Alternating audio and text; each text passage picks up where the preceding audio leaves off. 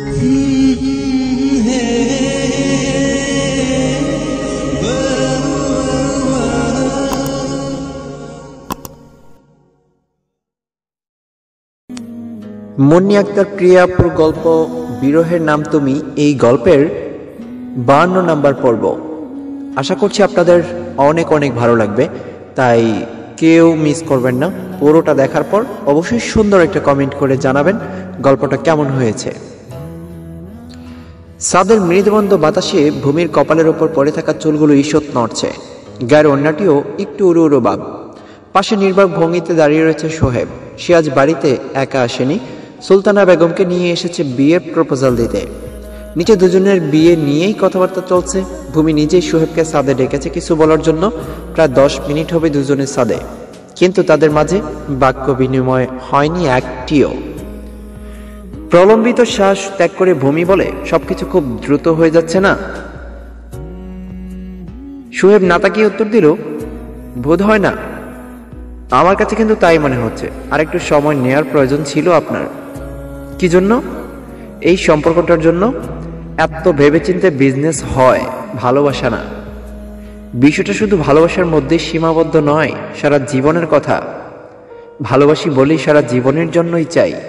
এখানে তো এত ভাবার কিছুই নেই। যদি পরে আফসোস হয়, সোহেব এবার ভূমির দিকে তাকায়। ব্রো কিঞ্চিত বাঁকা করে বলে, আফসোস? কোন কারণে? এভাবে আপনার হুট করে ডিসিশন নেওয়ার পরে তো মনে হতেই পারে, আমায় বিয়ে করে আপনি ভুল করেছেন। আমার এই দিন কখনো আসবে না। আচ্ছা একটা কথা পরিষ্কার ভাবে বলুন তো। আপনার নিজের কি আরও সময় চাই? কোন রকম বনিতা ছাড়াই বলল, ভূমি হ্যাঁ। আসলে আমি এত বড় একটা ট্র্যাজেডি থেকে বের হয়েছি তো যে বিশ্বাস জিনিসটা এত সহজে আমার মাঝে কাজ করে না। আমি ভয় পাই বিশ্বাস করতে, ভালোবাসতে। শুধু তাই নয়, বারবার এটাও মনে হয় যে রাসেলের মতো যদি আপনার ওই ভালোবাসার নাম মোহ হয়ে থাকে, দয়া করে রাসেলের সাথে আমায় গুলিয়ে ফেলবেন না। আপনি সময় চান, আমি দেব। এক বছর হোক, দুই বছর হোক, কিংবা হাজার বছর। তখন আমি একই কথা বলব, আপনাকে আমি ভালোবাসি। ভূমি ঈষৎ হাসে। হাসি মুখে বলে, এত সময় লাগবে না। আগে সূচনার বিয়েটা হয়ে যাক, তারপর না হয় আমরা বিয়ে করব? কোনো আপত্তি নেই, বমিরানি। ভূমি শব্দ করে একটা কিল বসায় সোহেবের পিঠে। তারপর বলে, নাম ভেঙালে বিয়ে ক্যান্সেল করে দেব। মাফ চাই বোন। মাফ নাই ভাই, ছি, অসভ্য। অসভ্যের কি হলো? হবু বরকে কেউ ভাই বলে? আমাকে বইন ডাকার আগে মনে ছিল না? বুঝেছি, কি? আমাদের ঝগড়া আমরণ চলবে। এতে সমস্যা বুঝি? হুম, আমি অনেক খুশি।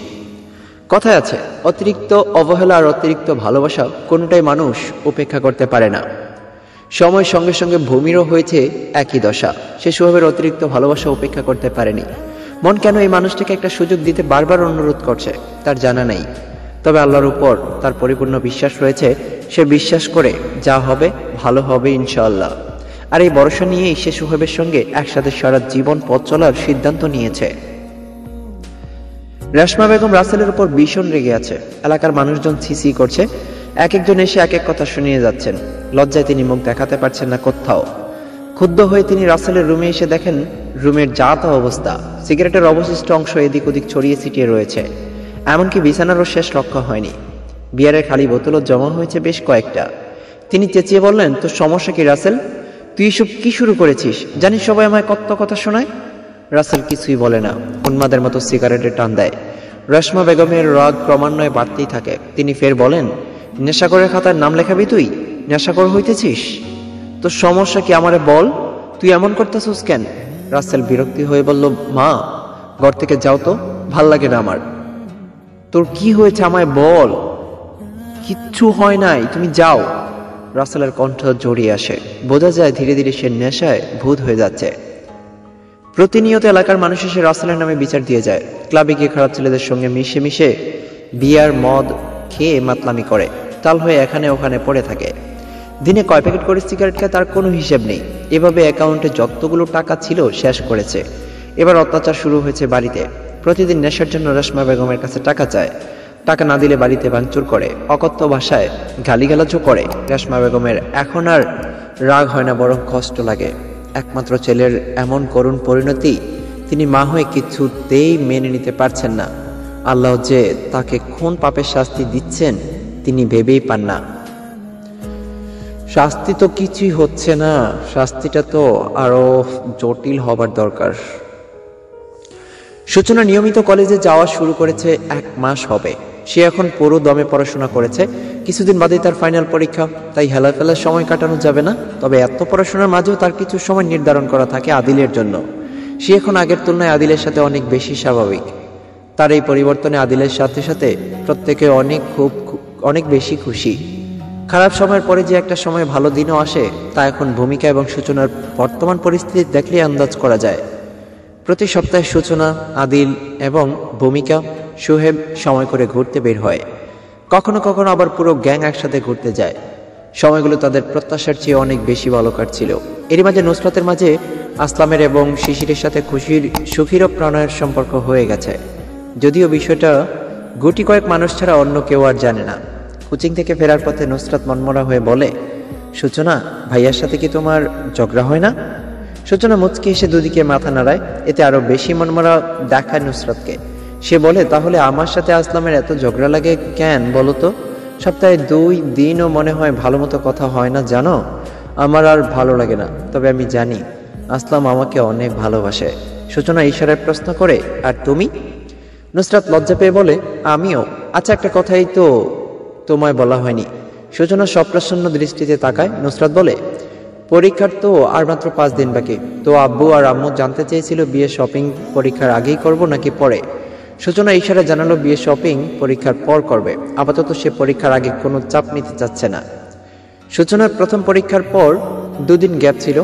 কাল জারিফ বিদেশে যাবে পায়ের চিকিৎসার জন্য সে একা নয়, চাচা, চাচি আর প্রীতিও যাবে। চাচির আত্মীয় লন্ডনে থাকায় কোনো সমস্যা হবে না তাদের। তাই বাসায় ছোট্টখাট্ট একটা আয়োজন করা হয়েছে আজ রাতে। এখানে আদিল এবং সোহেব আমন্ত্রিত ছিল। সন্ধ্যায় সকলে মিলে তৈরি হয়ে চাচার বাসার দিকে রওনা হয়। সূচনা আদিলের কাঁধে মাথা রেখে পাশে বসে রয়েছে রিক্সা চলছে আপন গতিতে, অন্য রিক্সা সোহেব এবং ভূমিকা। সোহেব ভূমির হাত ধরতে গিয়ে অজানা আশঙ্কা ধরতে পারছে না। বিষয়টা ভূমি বুঝতে পেরে সে নিজেই সোহেবের হাতটি নিজের হাতের মুঠো নিয়ে নেয়। সোহেব তাকিয়ে দেখে ভূমিকা মুচকি মুচকি হাসছে। চাচার বাসায় রাতটা বেশ ভালোই কাটে। সকলে মিলে একত্রে গল্প গুজব করে। ব্যাগপত্র চাচি গতকালই গুছিয়ে রেখেছিল, তাই আজ ব্যতীত অন্য কোনো তারা নেই। সকালে এয়ারপোর্ট অবধি ওদেরকে পৌঁছে দিয়ে আদিল, সূচনা, ভূমিকা, সোহেব বাড়ি ফিরবে। মাঝরাতে সবাই একটুখানি ঘুমিয়ে নেয়। চাইলে রাত জাগতে পারত। কিন্তু এতটা পথ জার্নি করে যাবে তাই জারিকদের একটু ঘুমানো অবশ্যই জরুরি। সকাল সাতটার দিকে সূচনার ভূমিকা উঠে পড়েছে। দুবোন মিলে সকালের নাস্তা, হালকা পাতলা নাস্তা বানাচ্ছে। চাচি আর প্রীতিও যদি ওদের কাজ করতে দিতে চাচ্ছিল না, তবে দুবোন ওদের বারণ শুনেনি। উল্টো ওদেরকে ঘুমাতে পাঠিয়ে দিয়েছে। চাচা অবশ্য রোজকার নিয়ম অনুযায়ী আগে উঠে পড়েছেন। ভূমিকা চায়ের কাপটা সূচনাকে দিয়ে বলল, চাচাকে চাটা দিয়ে আয়। সূচনা চায়ের কাপ নিয়ে চাচার ঘরে যায়। চাচি ঘুমায়নি, বসে রয়েছেন। চাচা পাশে বসে ফোনে নিউজ দেখছিলেন। চায়ের কাপটা চাচাকে দিয়ে চাচির উদ্দেশ্যে ইশারা জানতে চাইলো, চা খাবেন? চাচি স্মিথ হেসে, না, বলে সূচনাকে টেনে পাশে বসালেন। মাথা হাত বুলিয়ে দিয়ে বললেন, তোর সাথে চাচি অনেক খারাপ ব্যবহার করেছে, তাই না রে? চাচি খুব খারাপ, বাজে। চাচিকে মাফ করে দিস, কেমন? সূচনা আহত দৃষ্টিতে তাকায়। এত ভালো ব্যবহার, আদর মাখা কথা সে ইতিপূর্বে কখনই চাচির কাছে পায়নি। আবেগে আনন্দে তার চক্ষুদয় অস্ত্র এসে জমা হয়। সে নিজেকে সংবরণ করে রাখতে পারে না। চোখের কঠোর থেকে টপ করে পানি পড়তে শুরু করে। চাচি এবার আরও একটা অবাক্যর কাজ করে বসেন। সূচনাকে বুকে জড়িয়ে ধরে বলেন, পাগলি মেয়ে, কাঁদছিস কেন? চাচুর উপর তোর অনেক খুব অভিমান আমি জানি। কত অত্যাচার করেছি, মেরেছি, অপমান করেছি। এইসব ভাবলে এখন নিজেরই ঘেন্না লাগে। তবুও বলব, চাচিকে ক্ষমা করে দিস। কেমন? সুজনা নিশ্চুপে ফুপ্পে ফুপ্পে কাঁদে। চাচাও বিস্ময় নিয়ে কিছু কিন্তু মন ভরে দৃষ্টিতে দৃশ্যটি দেখল। এমন মনোরম দৃশ্য দেখে তার সকালটা আরও বেশি যেন সুন্দর হয়ে উঠল। অবশেষে যে স্ত্রীর মাঝে মানুষত্ব সহানুভূতি, ভালোবাসা এসেছে, তিনি এতেই খুশি। চাচা নিজের গলার চেনটা খুলে সূচনার গলায় পরিয়ে দিয়ে বলেন, সারা জীবন কটাক্ষ ছাড়া আর তো কিছুই দিতে পারেনি। তাই এখন আমার সবচেয়ে প্রিয় চেনটি তোকে দিলাম। তোর বিয়ের সময় আমরা লন্ডনে থাকব। তবে মন খারাপ করিস না। উপহার পাঠিয়ে দেব। বিয়ের সময় চাচা চাচি কেউ থাকতে পারবে না ভেবেই আসলেই এবার সূচনার মন খারাপ হয়ে গেল। ভূমিকার ডাকে সে চোখ মুছে চাচার ঘর থেকে বের হয়। ড্রয়িং রুম থেকে তখন জারিফকে ডেকে বলে, সূচনা, শুনে শুনে যেত সূচনা রান্নাঘরে না গিয়ে আগে জারিফের কাছে যায়। গালে চোখের পানির চিটচিটে একটা ভাব ছিল। তুই কাঁদছিস কেন? মাকে তোকে কিছু বলেছে? জিজ্ঞাসা করে জারিফ। সূচনা দুদিকে মাথা নাড়িয়ে গলার চিন্তা দেখায়। জারিফও বুঝে নাই এই কান্না কষ্টের নয়, বরং আনন্দের। তার ঠোঁটের কোণে এক চিলতে হাসি ফোটে ওঠে তখন। সে সূচনার মাথায় হাত রেখে বলে, তোর বিয়েতে থাকতে পারব না বলে মন খারাপ করিস না। তোর জন্য আমার দোয়া আর ভালোবাসা দুটোই থাকবে। আমি তো ভূমিয়ামকে বলে রেখেছি, যত খুশি ব্যস্ত থাকো আর যাই করো না কেন, গায়ে হলুদের দিন, বিয়ের দিন সারাক্ষণ আমার সাথে ভিডিও কলে থাকতে হবে। আমি দূর থেকে আমার সূচনার বিয়েতে অ্যাটেন্ড করব। তোর ভাবিও কিন্তু আমার সাথে একমত। বল, আইডিয়াটা কেমন? সূচনা হাসতে হাসতে কেঁদে ফেলে জড়িয়ে ধরে জারিফকে। একই সাথে হাসি এবং কান্না, এই অনুভূতিটা আসলে কেমন? সব কিছু আজ এত ভালো হচ্ছে কেন? অবশ্যই কমেন্ট করে জানিয়ে যাবেন গল্পটা আপনাদের ভালো লেগেছে কিনা।